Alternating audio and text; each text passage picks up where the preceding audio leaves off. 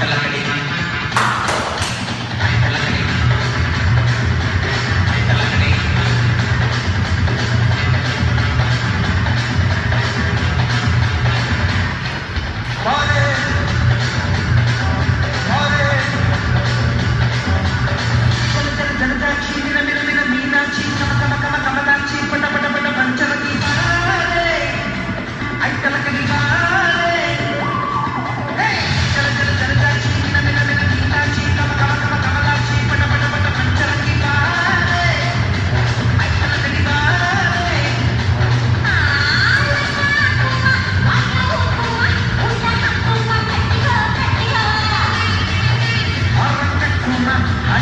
thân mát trong tôi không ai nhắm